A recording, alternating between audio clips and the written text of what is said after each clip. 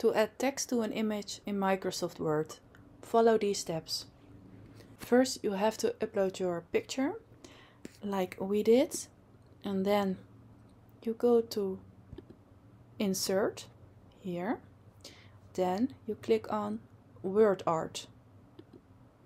And here you can select different fonts of the Word Art tool.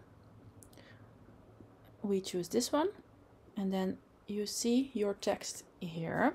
And now you type your text in the text field. So when you want to change the size or maybe the font you can double click and select the text.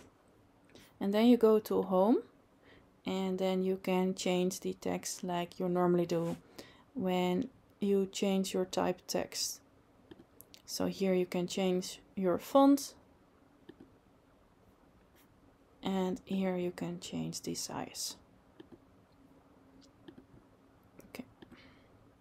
If you want to change the color, you can click here and then you change the color you want. Mm, just black.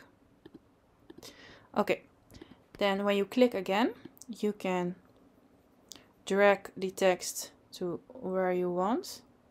So you want the text here in the top right corner.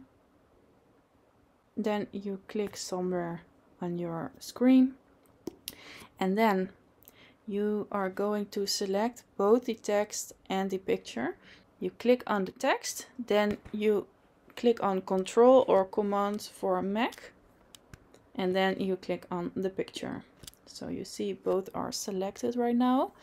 And then you go to layout here in the toolbar and you see group here. Click on it and then click on group. Okay, what is happening now is that the text is stuck on the image. So when you move the image, you see the text is also moving. And if you want to ungroup the text from the image. Then you click on it on the picture and then you click on ungroup. And then you see when you move the image, the text is not moving. And that's it. That's how you add text on an image in Microsoft Word.